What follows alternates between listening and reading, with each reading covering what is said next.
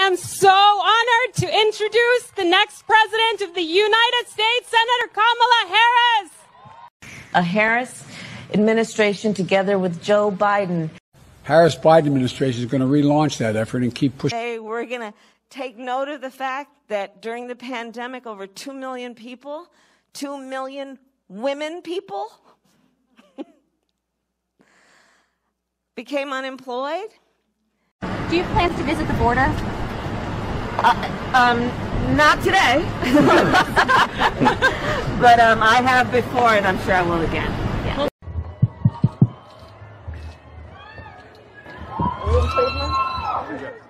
Hey, Cleveland!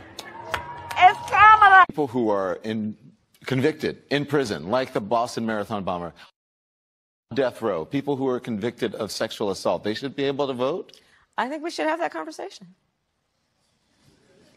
Kamala Harris ran for president by rushing to the radical left, embracing Bernie's plan for socialized medicine, calling for trillions in new taxes, attacking Joe Biden for racist policies. Voters rejected Harris. They smartly spotted a phony. But not Joe Biden. He's not that smart. Biden calls himself a transition candidate. He is handing over the reins to Kamala while they jointly embrace the radical left. Slow Joe and phony Kamala. Perfect together. Wrong for America. It's a long way until November. We got more questions. You got more questions, but I tell you, if you have a problem figuring out whether you're for me or Trump, and you ain't black, and you ain't black, and you ain't black, and you ain't black. It was hurtful to hear you talk about the reputations of two United States senators who built their reputations and career on the segregation of race in this country.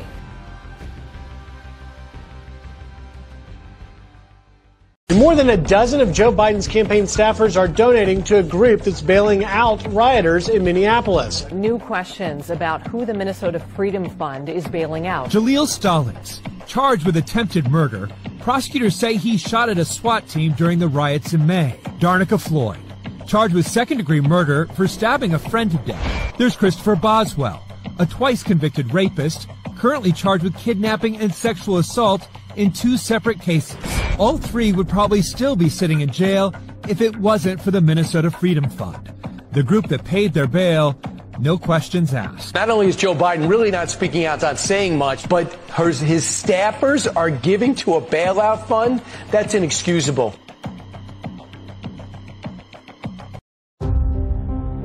Steel mills fell, it just all crumbled.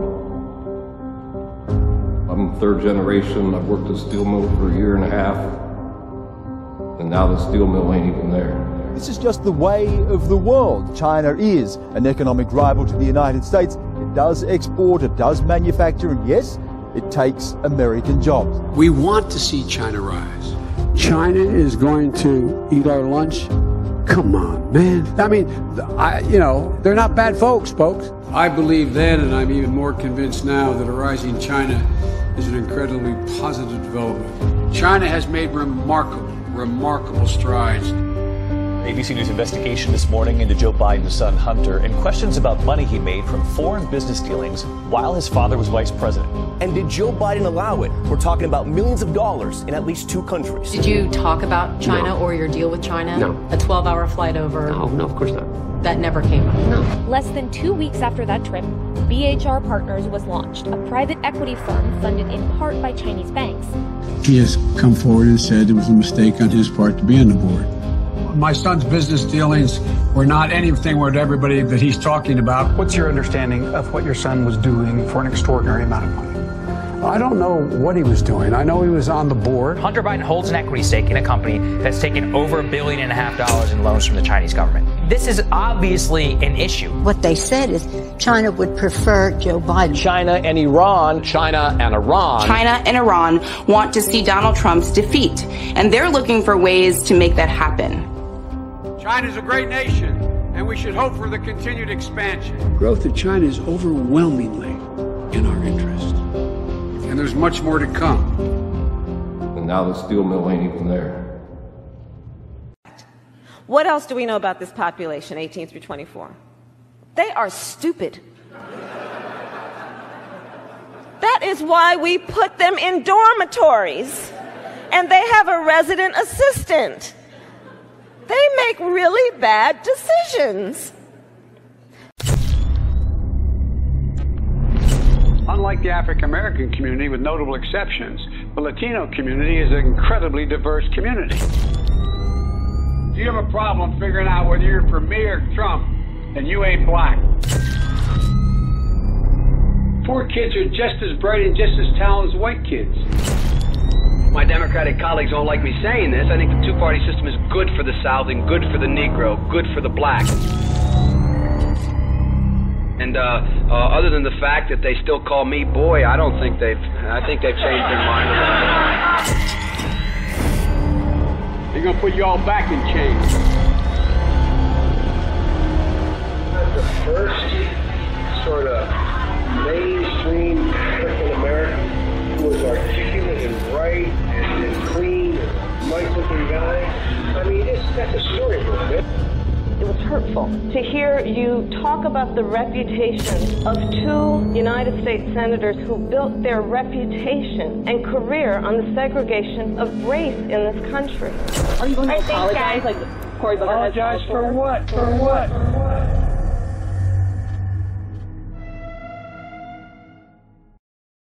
And you had CNN, whoops, the light just went off.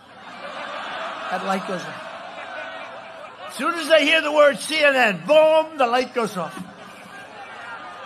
No, you had the CNN, the, uh, you know, shaves his head. Maybe I'll do my hair that way.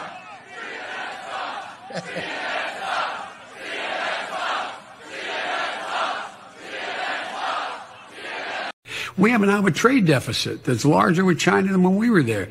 Actually, that depends on how you calculate it. The overall trade deficit with China was slightly lower in 2019 than it was during the last three years of the Obama administration. My father has invested billions of dollars. I, I mean, tens of billions of dollars in, in this country. He's built the biggest buildings. We employ tens of thousands of people. Compare that to Joe Biden. Joe Biden has been leeching off of the federal government his entire adult life. The guy's never had a real job that hasn't been taxpayer funded ever. Joe Biden's created one job. You know who that was? Hunter Biden, right? Hunter Biden made an absolute fortune. This guy never created a job. He never built buildings. He never employed thousands of construction people and service people and people to work in restaurants and hotels.